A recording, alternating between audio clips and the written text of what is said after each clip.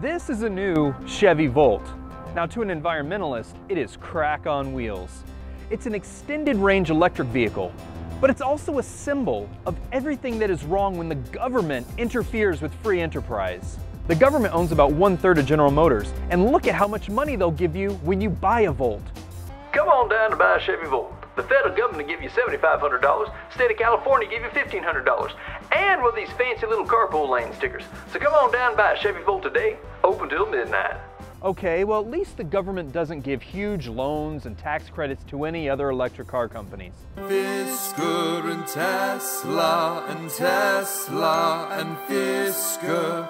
Isn't it crazy that the government gives people $9,000 to buy $100,000 electric sports cars? That's all right, because I'm going to make a whole lot of money on a new engine I invented that can run for an entire week on one serving of guacamole. Guacamole. What? You mean the government's not going to give me some of that sweet, sweet cash? Ugh. How am I going to compete? You're crushing my entrepreneurial spirit and hopes for happiness. There's a disturbing new idea that's being promoted by a number of US politicians that essentially says if you started a business and it's successful, don't take too much pride in that because the federal government provided the stability, the infrastructure, and the education to make your business a success. And that just sucks the pride and happiness out of achieving anything, whether it's starting a business or winning a gold medal.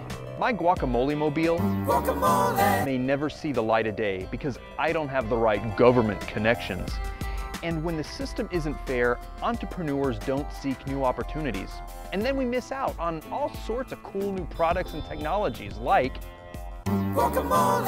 and that's the moral case for free enterprise.